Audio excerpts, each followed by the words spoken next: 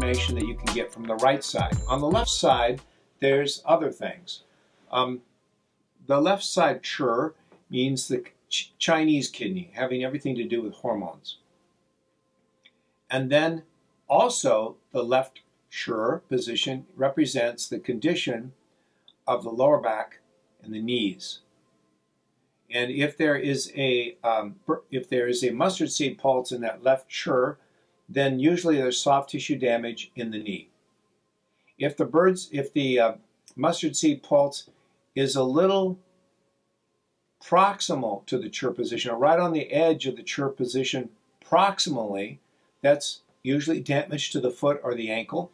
And if the bird's beak pulse is distal to the center of the chur position, that's usually soft tissue damage in the hip. And of course, if, if the damage is active, if they actually have pain from it, the pulse will be pounding. It'll be, there'll be a jump to it. If it's just an old injury, um, even from a, surgery, a surgical injury, injury or a surgical uh, scar that's been caused by surgery, then the pulse will not be pounding just be quiet, just sitting there. Okay? Now, as you go proximal to the left chur, now there's lots of stuff in there. First of all, let's take lower back pain.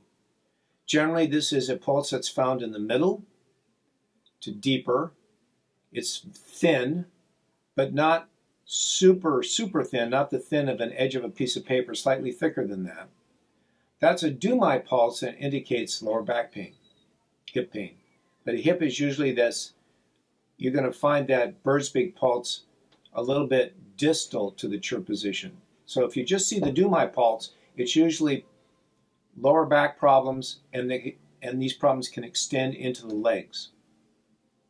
If the pulse is extremely